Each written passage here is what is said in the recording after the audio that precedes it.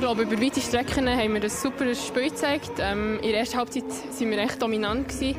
Ähm, die zweite Halbzeit haben wir ein bisschen, ein bisschen nachgelassen, aber ich würde sagen, ähm, verdient ähm, die drei Punkte, die wir heute haben können holen Alors, on a commencé pas très bien parce qu'elles ont marqué tout de suite le premier but vers la 12e, 15e minute.